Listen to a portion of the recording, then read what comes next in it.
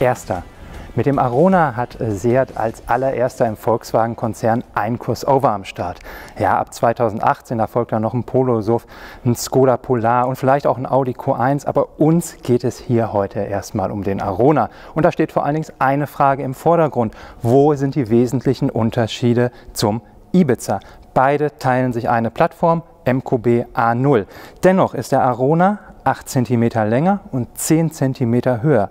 Zusätzlich haben wir mehr Bodenfreiheit und dann diese schwarze Schwellerverkleidung rundum. Sieht robuster aus, aber aufgepasst, Allradantrieb hat er nicht.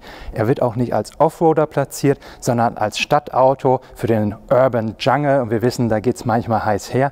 Style steht auch im Vordergrund. Wir haben bei den Außenfarben bis zu 68 Kombinationsmöglichkeiten und das ist wirklich eine Menge.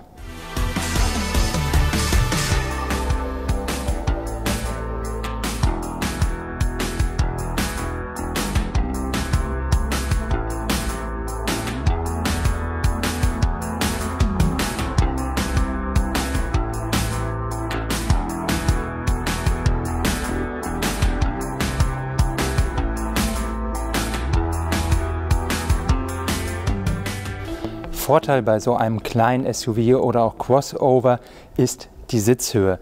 Die sind hier 5 cm höher als im Ibiza und dementsprechend etwas leichter fällt der Einstieg. Ja, ich nehme hier Platz und lasse mich mehr oder minder einfach nur auf den Vordersitz plumpsen.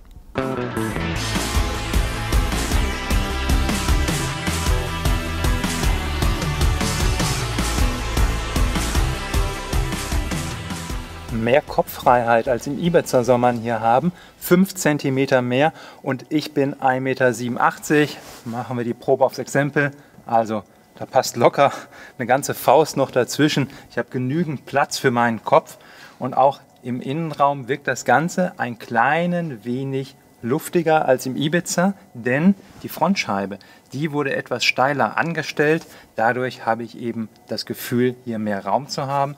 Zugleich wurde die, der Armaturenträger etwas angehoben. Das soll mehr Sicherheit vermitteln. Trotzdem sitze ich hier drinnen nicht eingemauert wie in einer Burg, habe noch genug Überblick, sehe die Straße oder hier eben auch das Studio gut. Die Ausstattungslinie, hier FR, natürlich nur das Beste, sehr schick, alles weiche Kunststoffe, ein bisschen besser sogar als im Ibiza. Hier mit den Ziernähten das gleiche auch in den Türen, wirklich schick gemacht. Übrigens mit der FR-Ausstattung haben wir hier eine Sechsgangschaltung an Bord und es gibt dann auch tatsächlich den 150 PS Motor, den wir bereits aus dem Golf kennen oder auch aus dem Ibiza. Und zusätzlich haben wir eine Dämpferverstellung für Sport und Normal. Und bei den Fahrmodi, da haben wir Eco, Individual, Sport und Normal.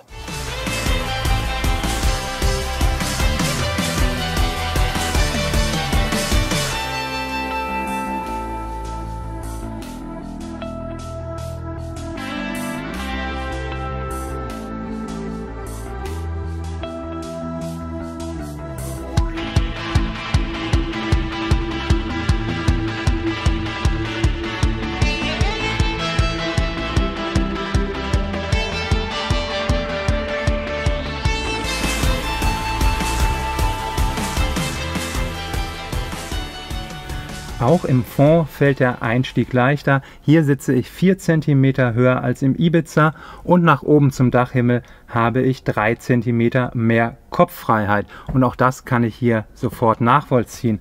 Der Vordersitz, der ist noch auf meine Größe eingestellt und trotzdem habe ich vor meinen Knien noch ausreichend Platz. Und so kann ich mir gut vorstellen, auch in Reihe 2 ein paar Kilometer mit dem Seat Arona zu fahren.